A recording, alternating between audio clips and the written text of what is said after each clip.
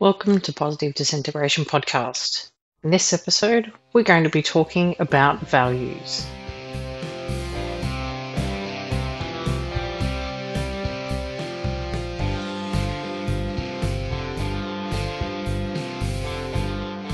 Hello, listeners, and welcome to another episode of Positive Disintegration, a framework for becoming your authentic self. I'm your host, Emma Nicholson, and with me is co host Dr. Chris Wells. Hi, Chris. Hello, Emma. How are you? I'm really good today. It's just you and me having a little chat. I know I'm pleased. It's it's fun to not have a guest once in a while, I think. I'm excited because it means I can misbehave. every, huh. every time we have a guest Same. on, it's normally the first time meeting them, so I'm like, oh, I better be on my best behavior. But um, you know how to take all my terrible jokes, so um, I think I can let myself a bit loose today. You can, and I can too. I mean, to be fair, I always feel like I have to be on my best behavior too. Yay! So it's the naughty school kids' day. That's right. Which is slightly paradoxical because today we actually want to talk about values. Right, we're talking about values. And of course, having a bit of fun during the podcast doesn't mean that we don't have strong values. But um, yeah, I'm looking forward to discussing this. It seems like something really important for us to tackle because values were extremely important to Dabrowski and are, I would say, a, an aspect of the theory that well, multi-levelness is, you know, one of the foundations of the theory, and it's it's all about values. Values are, I would say, infused into everything.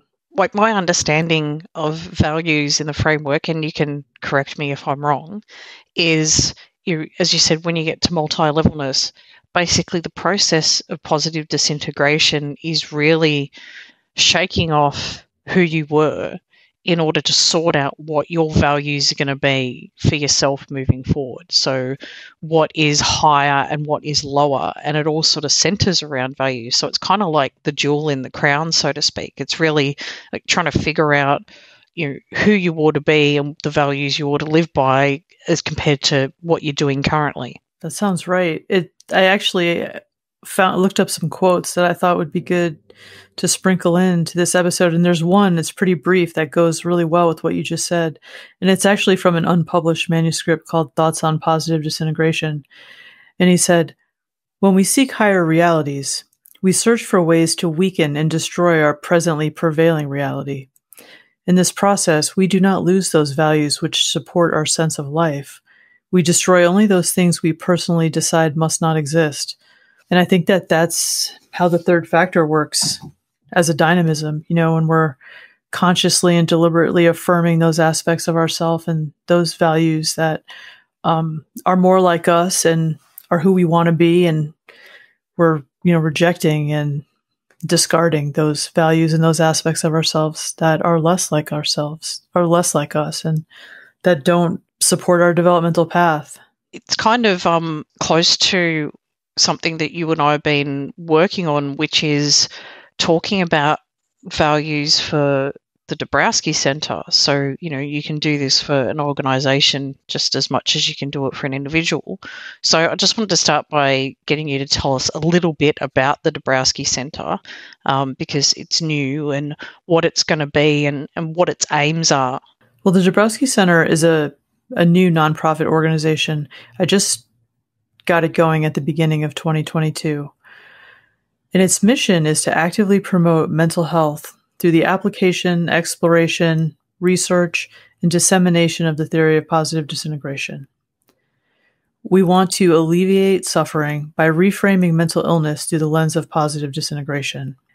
And when I envisioned the center, I really wanted it to be the home of the theory, an international home of the theory, and I wanted people from around the world to know that they could reach out for help, services, resources.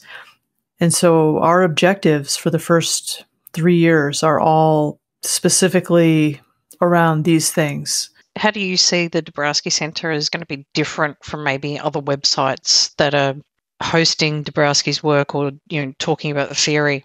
Well, for one thing, I'm hopeful that it's not only always going to be a website.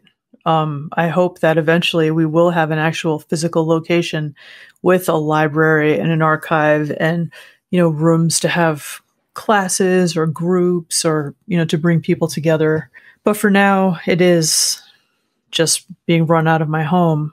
And I guess one thing, of course, you know, the, the archive is, is the foundation of it, but it's more than just a bunch of links. It's, it's meant to be curated information so what I'm hearing from you is it's going to be more than just a library or a repository. It's actually going to be a place where people can kind of, you know, even in a virtual sense, gather and form a sort of community around the theory, you know, to help each other and, you know, help each other in accessing those resources and talking about the theory. So it's not just as you said, a bunch of links. It's actually going to be a place where it's going to be a place where everybody who's interested in the theory of positive disintegration can kind of get together and discuss it as well as have access to those resources. Yeah, building community is a big part of my work. And I can see that. You know, I've discovered over the past couple of years that this is something that I love doing and I'm pretty good at it. So I'm going to keep deliberately building community around the theory. And the archive, yeah, it's going to be curated. You know, I would say that I'm kind of an instrument in the archive in that I have internalized a lot of this information in these documents. And so the consulting work that I've already been doing involves receiving inquiries from people who have questions about the theory. And this is, I mean, there's a wide range of what I see. People write to me and they say, Hey, Chris, this is where I'm coming from. This is my perspective. Maybe they're a graduate student, maybe they're a professional, maybe they're just a person who's interested in some aspect of the theory. They tell me what it is that is on their mind, and I point them to the the places where they may find what they're looking for in Dabrowski's work or Michael's work or whoever, you know, in the overexcitability research. I know these documents very well, and so I enjoy pointing people in the right direction. And so that's a big part of what I've already been doing. And it's sure to be a significant part of what I do with the center, too. Basically, you're an expert on the frequently asked questions, I guess, around the theory. yes, for sure. Which is handy when you're trying to guide people to, to know what people are going to ask and where, where they're going to need to find help. Well, and another thing, actually, you just prompted me to realize I should mention that, you know, we are going to produce content that's educational. You know, we're going to produce videos that explain the theory in different ways for different populations. And at the Dabrowski Congress in July, I talked a bit about my goals for creating a database of providers who work with the theory, work with gifted individuals, um, and also, you know, a database of resources that again, like like you just said, sort of from what I already know people are looking for. And so yeah, we also want to develop best practices around working with the theory for clinicians specifically, but also for educators, for any professionals. This is something that we don't have. This is something I've already talked with clinicians, coaches. Um, I talked with Jen from Intergifted. She actually kind of has created her own curriculum uh, for working with the gifted through intergifted, but but we don't have it for Dabrowski's theory, and it's it's important. I mean, this is really sort of pioneering stuff, which is ex- exciting in a way. You know, you're sort of breaking new ground here um, and giving people something that they haven't had before. Um, and it's still it's important, I guess, to mention that the site's still under construction and this is just sort of kicked off. Um, but it, I guess it's a prime time to think about values because you've got your aims which is the things that you want to do. Like you understand the the what but the values are kind of like shaping the how we're going to go about it you know how we're going to behave how are we going to provide those services and how are we going to be. Yeah so it's a good time i guess to to think about that stuff. And we've just sort of finished drafting a, a set of values that you know hopefully we can get up on the centre for people to look at. But I think it's a good time to talk about it and maybe even get people's feedback to sort of discuss. Well, this is how we're thinking that we we want to be. You know, and considering values is so central to the theory itself, it's um, it's a good fertile topic. I think it really will become kind of a code of ethics for people who work for the center, who work with the center, the people who are in our community. It's very important to have guidelines around behavior and uh, you know because if we're doing community building not only are we modeling the behavior and the values that are important to us but you know we want to really be explicit and clear about them for the other people who we're that we're working with. Because when you when you build community if you have a community without rules um, really it can be a free for all. And like if i've learned anything from work like you can't monitor people and pull them up on their behavior or their actions unless you've actually set that down in stone first. It's like putting down group rules in a Facebook group or something and saying, look, this is how we expect you to behave. And if you don't, um, we're going to ask you to leave. But you can't do that until you've kind of set them out. So I want to talk to you about those values. And in doing so, I think we're going to talk a little bit about what they are, but also what they aren't. so people sort of understand what's in scope and what's out of scope. I think that one of the problems we've had in the Dabrowski community with people who do talk about the theory in their work is that we don't have clear guidelines around what is appropriate and what isn't appropriate and you know it's it's one thing to accept different interpretations i think that it's important that we aren't pedantic and excessively picky about how people talk about the theory. That's not my goal at all. I don't look to nitpick, nitpick how people discuss Dabrowski's theory. But when I see something that's just outright wrong, well, I haven't exactly known how to go about doing anything about it. You know, it's not easy. And it's not easy for me to call people out when I see that there's something wrong with what they're saying and they're tying it to Dabrowski's theory. And if we're being honest, we're seeing that happen right now with, you know, others who are using the theory. And so, you know, part of what drove us to make this explicit now is that we do have a set of values that we work with, and we feel like it's really important for the public to know what they are. And we also feel that it's important for the public to know what we don't think uh, is in the scope of our values, like you said. So, and yeah, I mean, I guess we should just jump into it. Yeah. And it's, I think it's important here to call out that it's not just about policing people, it's about guiding them and helping them do the right thing. Because I think a lot of people set out with really good intentions. Um, you know, just sometimes people accidentally overstep lines because they can't really see them that clearly. It's really easy mm-hmm. to stray outside the borders when the borders aren't clearly defined pretty much. Um, and I think most people go into this with good intent. If we can kind of provide guidance for them, um, then that helps them achieve what they're after, which is normally doing the right thing. That's right. We're definitely not trying to attack anyone. Um, we just, yeah, I, I thought you worded that very well. exactly. Thanks. Well, let's kick straight into it. So, we've got nine values that we've drafted up. And the first one is truthful. So we strive for accurate representation and preservation of Dabrowski's work and to deal with people in a straightforward and kind manner. This is about truth in how we present, quote, talk about Dabrowski's work, but also in how we talk about our own stuff with other people. We're striving for honesty. That's right. In everything we do. Um, yeah, I don't know what to add to that actually. Like I I mean, yeah.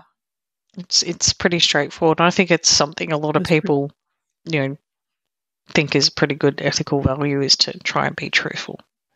Um, so our second one is authentic. So we'll be authentic in our speech and actions and in our desire to promote mental health and help others. We will maintain this desire to help others as our primary focus. Yes, that is the primary focus of the Dabrowski Center is to help others and to use this theory in a way to, well, as I said, promote mental health and alleviate suffering. And I've always kind of thought when you keep, like, if that's your goal, really to help people, and you always keep that in the back of your mind when you're creating content in particular, because um, it's something I try and remind myself all the time when I blog or if I do YouTube videos, which is why I don't do them on a schedule. I always do them if I've got something that's cropped up in my life and I've got something to to say and I've got lessons that I've learned that I want to share with other people. Because I think if I don't keep that in the back of my mind and I just do content because I'm expected to put it out, it's not going to be authentic. And if it's not authentic, it's not going to actually help people in their goal. Like if I'm trying to just do it for self promotion or you know to get followers or whatever it's it's not going to be authentic and if it's not authentic people pick that up they know it and it's not helpful I agree. I think that's perfectly said. Oh, I'm so tempted here to say, and we won't use it to push our own agenda, but I'll leave that. no, you can't. Go down that path. Right. Well, going along with what you said there, Emma, you know, we all have things that we're interested in, that we care about, that are our own, um, you know, causes that we that are close to our heart. But we can't use this theory to push political agendas, especially. It just is inappropriate and not authentic. Parti- particularly in a group context because remember this is the center's values not our personal values so we have to keep in mind you know what is the center there what's it designed to do are we being authentic to that aim Exactly. Although this really ties in well to the next value, yeah it does which is that we're we're inclusive. Yeah. We are inclusive of everyone and affirming of their identity and their personal experiences. We stand against bigotry, harassment, and discrimination. And I guess this is the first one really where the whole what we aren't sort of comes up because we're definitely declaring there that we're going to take a stand against things that we don't agree with. You know, and bigotry, harassment, and discrimination is the, the key of that. So, if we want to be inclusive, um, and we particularly want to be affirming of people, um, on the flip side of that, where we see someone that's doing the opposite behavior to that, I think you have a responsibility, particularly when we're talking about big whopping things like bigotry. Um, you, you kind of have a responsibility to take a stand and say, no, this isn't right and this isn't what we believe. That's right. We're taking a stand against racism, homophobia, anti trans rhetoric, all of that. We really mean it when we say we're inclusive. And, you know, I know that you are the editor on another podcast where you had to actually change the name of your podcast and That's right. It was a and take a stand against transphobia. That's right. yeah, it was a it's a Harry Potter podcast, so shout out to Potterversity, but we had to change our name because we had the author's name previously in the title. And then when she started coming out and saying those things on Twitter, we had to actively take a stand against that. And it's been a subject that's been brought up many times on that podcast. Um, but that involved us going, right, well, fine, we're going to rebrand the entire thing. We're going to disassociate ourselves from the author, but also we're going to speak out against it and say why we feel it's wrong. And there's been several episodes where we've talked about the hurt that that's caused within the fandom. Um, so it's not just about saying, "Oh, we're going to drop that like a hot rock," but we're actually going to stand up and say, "We don't agree with that. This is why it's wrong. This is the hurt that it's causing." I think it's great that you were able to do that and not just give up. You know, I mean, it, it, must be really discouraging to get that far into work and then realize that you have to rebrand and you have to also work out your feelings about the issues. So, yeah, that's not easy. And to be honest, it could have been really easy to just sort of drop it and walk away. But there are people within that fandom who, you know, are trans, are LGBTQ, and don't stand for those ideas that the author's talking about. And it's that sense, again, that comes back to that sense of community. It's like, do you walk away from your community? You know, do you throw the baby out with the bathwater? And it was, it was a really hard decision, and there was a lot of hard conversations about it. I bet. There is one thing that I also want to explore in a little bit more detail, um, particularly when we're talking about affirming. Um, and we're talking about personal experience and affirming personal experience, I just wanted to ask you to touch on a little bit of the neurodivergent experience because we have seen some examples where you know, people would prefer that you know neurodivergent labels are thrown out the window. So, can you give us a few thoughts on how we're being inclusive of people who have neurodivergent experiences? Sure. Yeah, we really are going to strive, or we are striving to to be very inclusive um, of however people identify themselves when it comes to neurodivergence. If you choose labeling from the DSM, if you stick with, uh, you know, Dabrowskian terminology, it doesn't matter. We accept you however however you identify. So we're like the language that we use already on the podcast, we use identity first, you know, autistic, ADHD, or we don't say a person with autism. We take a neurodiversity affirming approach. I'm not sure how much what else to say about this to be honest, other than that. I've I've got a very terrible analogy for this, and I don't know if it's going to fly, and maybe I'll have to cut it out. I've seen this concept of well, you experience the world differently and perhaps think you know you're a little bit of an outlier or you're, you're quite you're a bit weird or a bit strange. And i've seen that being dismissed with kind of the well everybody's weird brush. And for my mind it's denying the fact that there's a scale to say, well, everybody experiences anxiety every now and then, or everybody feels a bit different every now and then. I think it is dismissive of people who feel that more than the normal. And you know, as I said, everything is on a sliding scale. It's like when Shelagh Gallagher talks about, you know, what is excitable and what is overexcitable. You know, there's a point where it can be too much. And my terrible analogy is, you know, normally masturbation seen as a good and healthy thing. You know, we all do it. It's fine. We shouldn't have hang-ups about it. it. It's a normal practice. But there are some people out there who have problems with it because they do it too much. So, you know, it's not just a, a matter of saying to someone who goes to a therapist and they go, I've got a problem with chronic masturbation, go, oh, well, everybody jerks off. That's fine. Don't worry about it. It's that they are experiencing this more than others and it's now starting to affect and impact their life. So that's the literal definition of problem masturbation is when it gets to the point where it's infecting your life and your job and your relationships, you have a problem with it. So while, you know, anxiety and weirdness and depression are in some ways normal experiences, when you have that too much in your life or when it starts to impact you and affect you very negatively, there's a sliding scale of that. And I think throwing out neurodiverse experiences um, kind of ignores that sliding scale issue. Yeah, it's so important to me to be validating of people's experiences. And so, and to not be invalidating. And I would never say that, you know, you hear this from sometimes from people sometimes. Um, oh, we're all, everybody's a little ADHD, or you know, or you'll hear someone say like, "Oh yeah." OCD is one. People tend to very, go, "Oh, I'm a little bit OCD." It's like, I are you dismissing oh, yes. someone else who actually has OCD? Right. It's very important to me that we're validating of people's experiences, and um, along those lines, I would say we also don't want to be gatekeepers.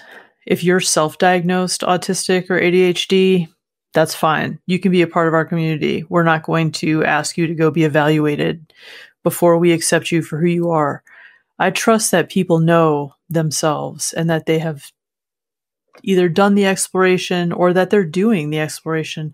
We're all at different places in our journeys. And so you're going to have some people who they're new to this, they've just figured it out, they're figuring out the language, they're figuring out uh, what fits and what doesn't fit. And then you're going to have people like me who've been trying to figure out for years what was going on for them and who have a pretty solid idea of it. But, you know, I mean, I may never know 100% what my deal is. And I've come to terms with that and I'm at peace with it.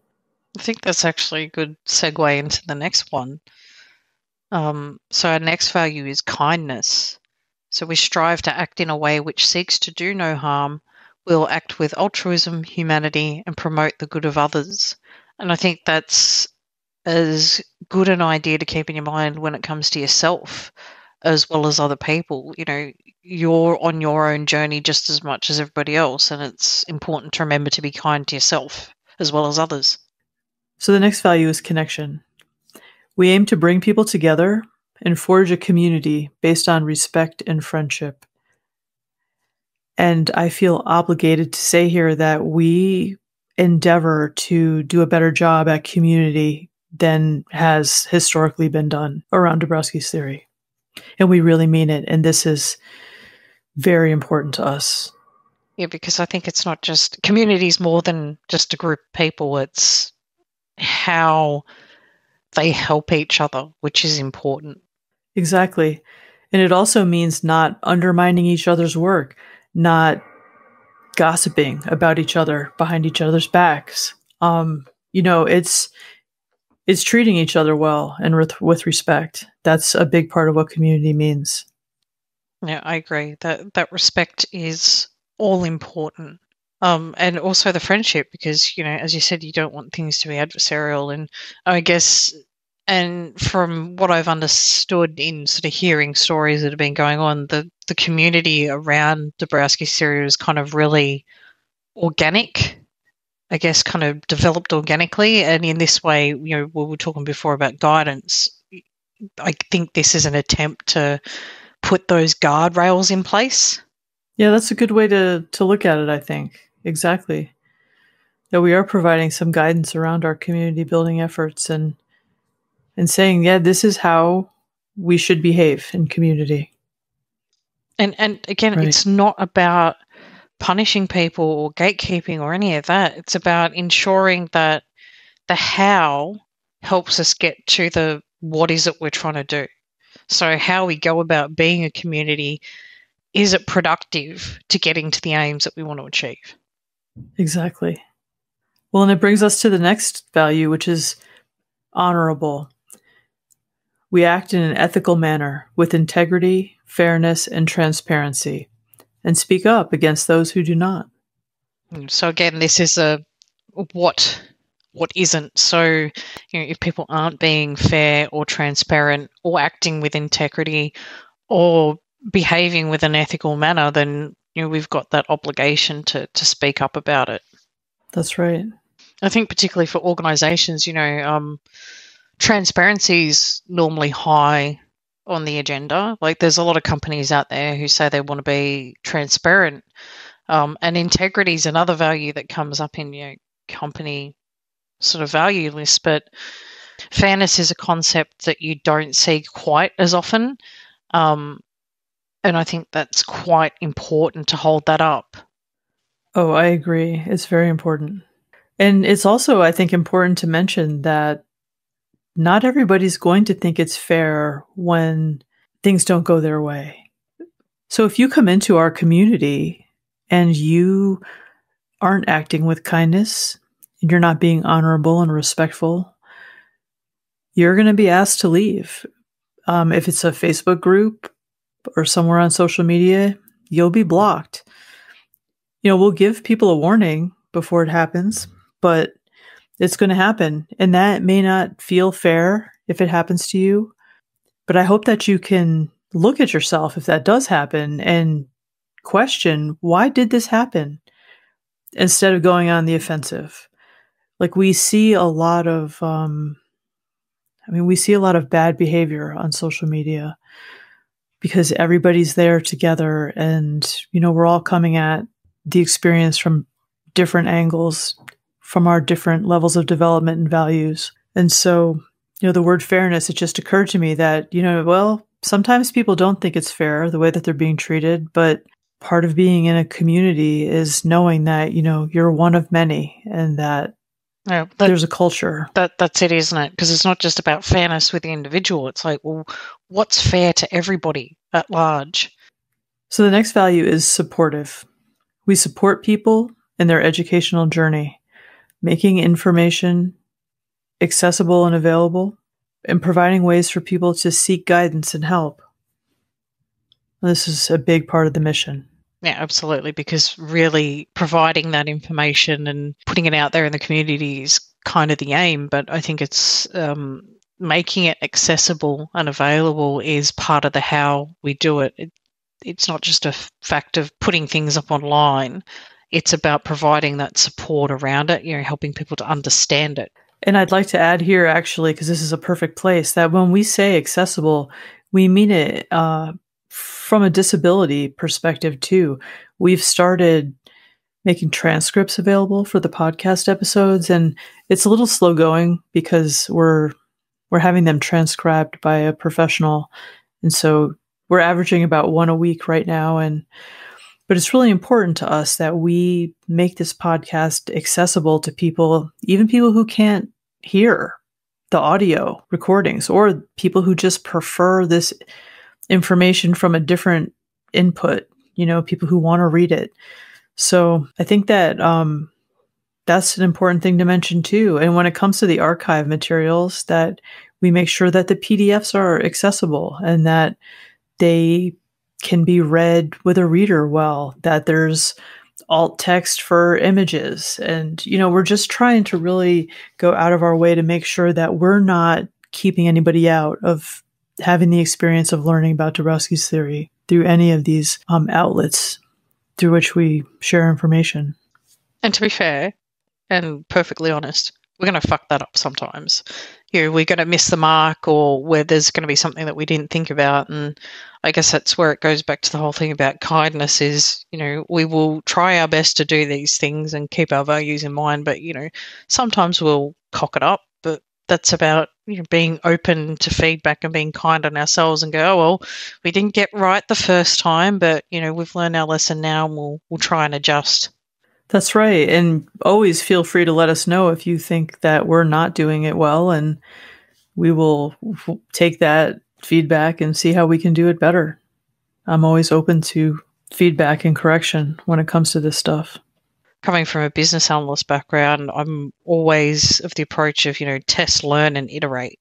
You're not going to know whether or not something's always going to work until you throw it out there in the environment and see what happens with it and test it. But then you learn from that feedback and go back and do another iteration. So I think that's important to to point out is that when we put things out there, particularly if it's new or no one's done it, we're not always going to know if it's going to work it's not always for lack of trying or but sometimes you can't hold off until you've got something perfect. You've got to go out with something because you know, in my experience, particularly with computer systems and stuff, you can put code into a, an environment. You could have tested it in the test environment a hundred times.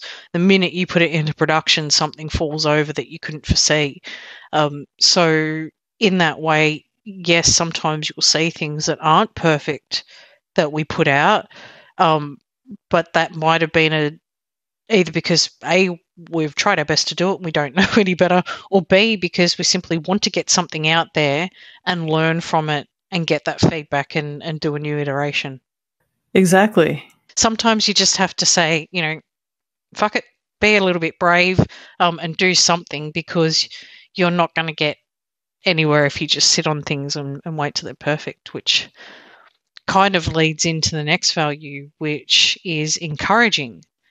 So we will encourage people who seek new ways to explore, present, research, and work with the theory of positive disintegration. Yes, we will encourage you. This is a really important one. I've heard many times over the years now that people are afraid to present about the theory, they're afraid to put their work out about the theory because they're expecting to be what's the best word that I'd like to use here? Shut down, judged. Yes. criticized. Yes. They're exactly. I mean, they're they're expecting to be criticized. And so it's really important that people feel safe in doing this work, that they aren't afraid to do research because of how it's going to be accepted or rejected by the Dabrowski community. We need to really do a much better job of encouraging young scholars, anybody who is wanting to work with the theory to, to go ahead and go for it. We need you. We need new blood. We need new ideas. Please don't be afraid. You have we've we've got your back. We do have your back.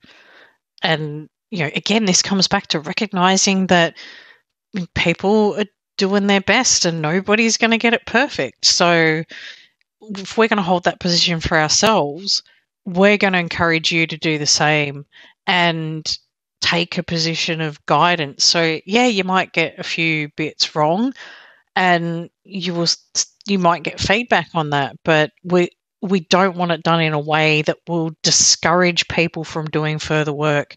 And I think this is a another area where you know what we don't want. So we don't want people to be you know shot down in flames and discouraged from working with theory because that's going to be counterproductive to the overall aim of getting the theory out there.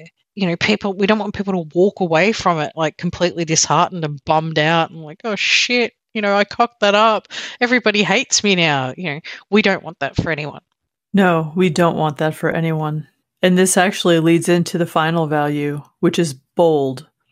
We will be bold, brave, and innovative in our mission to bring the theory of positive disintegration to the world in new ways. And we mean it. yeah, we do. Don't tell us can't. It's not, we don't want to hear that word. That's right. And I feel like we've already shown our willingness to be bold by doing the podcast. And, you know, it's, it's hard to believe that next month will be a year since we recorded our first episode. Shit, I feel old.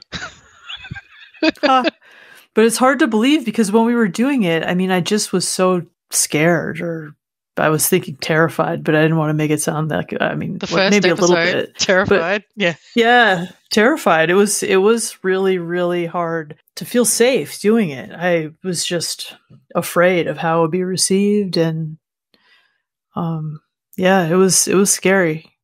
But now I I don't feel afraid anymore. It's really clear to me based on the feedback that we've got from our listeners that we're in the right direction and um, moving in the right direction, and we're we're just going to keep at it.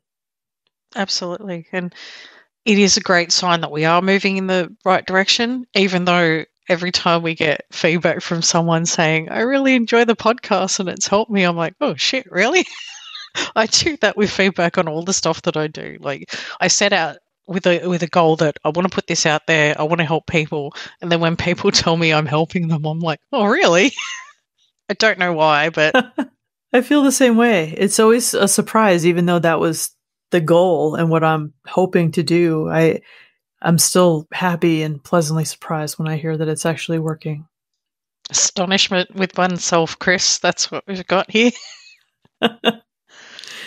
But, we do have a lot of astonishment. But we're going to continue to to challenge that. This comes back to all the other stuff that we've been saying about, you know, we're doing some stuff for the first time and we don't know if we're going to get it exactly right. It's also about seeing some of those challenges and those hurdles and those fears and just going, you know what, I'm going to do it anyway like even with the whole thing of trying to simplify the theory and make it accessible like which is you know why we collaborated on this podcast because both of us got a passion for doing that you know i i saw before i started sort of blogging and doing my youtube videos and stuff people saying you can't simplify dabrowski's theory and it's too complicated and you're going to end up getting it wrong and i'm like well, you know what? I'm going to give it a stab anyway. And I don't know whether or not that was boldness or just stupidity, but I gave it a go and it seems to be helping people. So it's also about seeing those challenges or the things that people assume really. It's those assumptions that people say oh you can't do this. You, you can't simplify the theory. Um, you can't do this other thing. And then going you know what? I'm going to give it a go anyway. I'm so glad that you did. You know it's it's really hard to overcome that the worry that you're not going to get it right. And I mean, I just when I saw you do your videos at first, I was like, "Whoa!" like it really blew my mind that you were so bold and just able to do it. it. I had thought of making videos and just was so locked up in my my fear of not getting it right. You know, it's just it was holding me back, and the podcast has helped a lot with getting over that fear and and the more that we talk about it and the more that we do this work it's clearer to me that like we need to talk about the theory in new ways. We need to stretch ourselves. We cannot keep trying to do things the same way that they've been done because it's it's not enough. It's it's not going to keep us going. I I completely agree because the theory has been around for a number of decades and if the ways it had always been done were working, everybody would know about it. But the fact of the matter is, we've got this beautiful, life changing tool, this theory that can really help people, and it's still hiding in the shadows. So it's like, well, something's got to change. Um, and it goes back to that old saying of the only boat that isn't rocking is one that's not going anywhere. You know, so we've got to try new things because you know people are out there struggling, and we just can't afford to sit on this theory and not share it with the world. And that's why part of that bold value is, you know, to bring the theory of positive disintegration to the world because it's got to get out there if it's going to help the people that it needs to help and it should help. Um, and I tell you what, I won't say that I wasn't shit my pants when I put those first videos out because I was. I was so worried about how it was going to go and how it was going to be received. And I thought to myself, fuck it, let's do it because what's the worst that could happen? Nobody watches it. Or you get a, a few crappy comments or people trolling you. And so I just had to suck it up. And it comes back to having that higher vision of what it is that you're out there to do. So if you really want to help people and you really want to get the theory out there, you kind of have to try something new. Because let's face it, what's been going on previously hasn't been working. Otherwise, everybody would know about the theory. That was so beautifully said, Emma. Thank you. No worries. Well, it was. I mean, you, yeah, especially what you said about the boat. That's exactly right. like, you know, this boat has been like tied to the dock for too long. Yeah, it's it's got to sail somewhere, which is why the word innovative sits in there. Because if you don't give this a go and you don't change something, like you're just going to be moored at the docks forever with your sails flapping sadly in the breeze. Like, get out there. I feel like I've laughed a lot during this episode, but it's been on mute, and so yeah, there's been some laughter. Yes, me too. With that habit of putting ourselves on mute, it's like, oh, we missed all the laughs. That's all right. That's right. Oh. We're laughing on the inside in silence. Well, and you know, it's you can. It's. I think it's important to know that you know you can talk about values and still have fun. That's right. They don't. They don't have to be stuffy and and boring or no. too serious. And you can bring up masturbation as well, which I just thought was fantastic. yes, yeah, that was one one of the laugh points for sure. you see, you can talk about values and have fun. See, we're being bold. We're doing something no one expects us to do. That's right. So, oh. so that's our values: it's truthful, authentic, inclusive, acting with kindness, connection, honourable, supportive, encouraging, and being bold. So I think, you know, we're probably going to put these up on the, the site soon, and it'd be great to get people's feedback on what they think about those. It would be great to get feedback. And yeah, we're working on the website. They'll, it'll be it'll be up soon. I guess the only other thing I really wanted to mention in this episode, since we're introducing the center for the first time in a podcast episode, is that it's a nonprofit organization. It's a 501c3 and it relies on donations. It's a public charity. So if you're listening to this and you're a fan of the podcast and you have money to throw around, we would welcome donations and your support because yeah, we rely on it. It's it's not going to be easy. You know, I mean, I really wasn't sure if I wanted to go the nonprofit route because it's scary to think that, you know, my work is going to be supported by the kindness of others. But I have to say that I've already been amazed at the donations that we've already received. And I'd like to thank everybody who's already shown their support. Wow.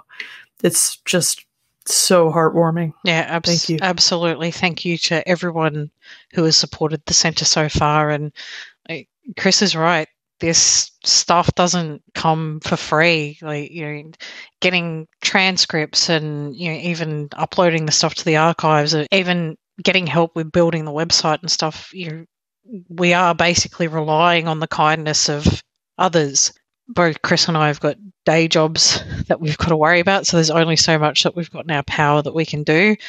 Uh, however, if we keep getting support, the more support we get, the more energy we're going to be able to put into the centre, um, and that's going to help everybody. So, you know, if you can, please, you know, consider donating something to the centre. And actually, the other thing that the center um, is in charge of now is the Dabrowski Congress. And the Dabrowski Congress is also going to need help and donations to continue, you know, hopefully for many years. Like to continue uh, doing getting great a venue. Work.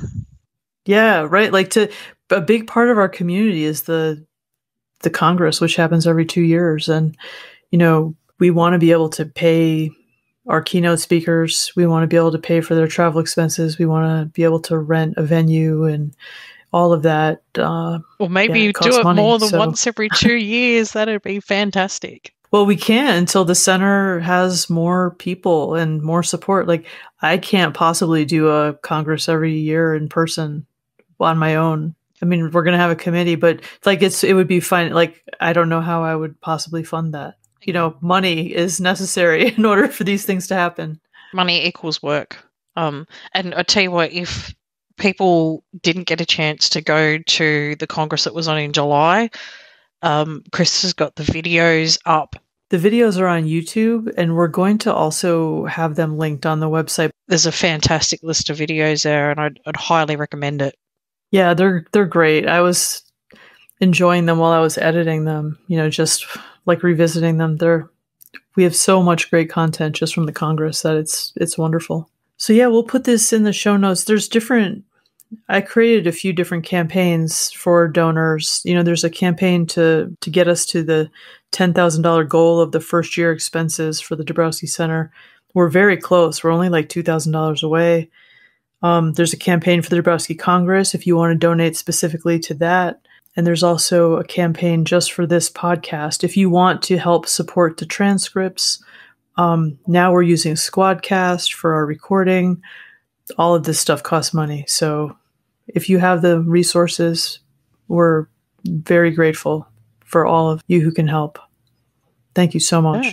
So thanks, Chris. This has been fantastic. Thank you for joining me for this little chat together. So. Well, thank you, Emma. Thank you to thank you to everybody for sticking with us as well. So thank you, listeners. We appreciate you very much. If you're listening to us on Apple or Spotify, please give us a rating or leave a review. And if you have any questions, feedbacks, or topics you'd like to discuss, or you've got some feedback or input on the values that we just went through, please get in contact with us. You can email us at positivedisintegration.pod at gmail.com or hit us up on Twitter or Instagram. Remember, this podcast is funded by the Dabrowski Centre, so if you like what you heard, please consider donating through the link in the show notes. And until next time, keep walking that all important path to your authentic self.